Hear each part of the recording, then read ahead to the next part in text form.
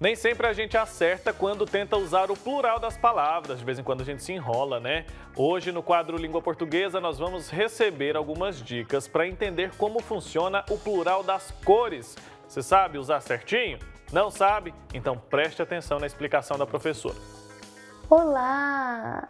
A dica de hoje é plural de cores. Cores derivadas de substantivo, como cinza, rosa, violeta, laranja são invariáveis.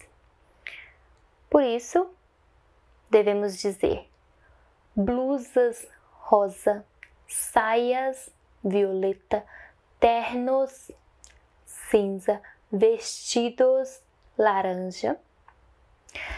Já as demais cores, que não são derivadas de substantivo, variam normalmente. Por isso, vestidos vermelhos, chapéus azuis e em cores compostas. Cores compostas em que um elemento é, é derivado de substantivo não flexiona. Por isso, blusas verde abacate. Temos aí abacate, um elemento que deriva de um substantivo, no caso da fruta. Então, os dois não vão flexionar. Já em cores compostas, em que os dois elementos, nenhum dos dois elementos é derivado de um substantivo, é, o segundo elemento vai flexionar. Exemplo: vestido vestidos azul escuros. Ok, espero que tenham compreendido. Até a próxima. Até a próxima, tá muito bem esclarecido. Então, se a cor ali derivar de um substantivo, como por exemplo rosa, né? Você não varia, né, Marina? Quando é o contrário, quando é uma cor ali que não deriva de um substantivo, você pode fazer essa variação, pode passar ela para o plural normal, certo? Entendi. É.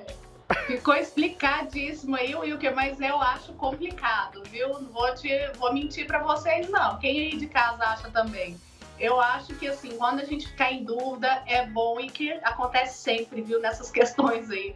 É bom a gente procurar ali num livro, né, alguma orientação ali, porque pra gente mesmo ali definir, principalmente o que alguns seguem uma regra, outros seguem outra, aí a gente fica meio confuso mesmo, viu?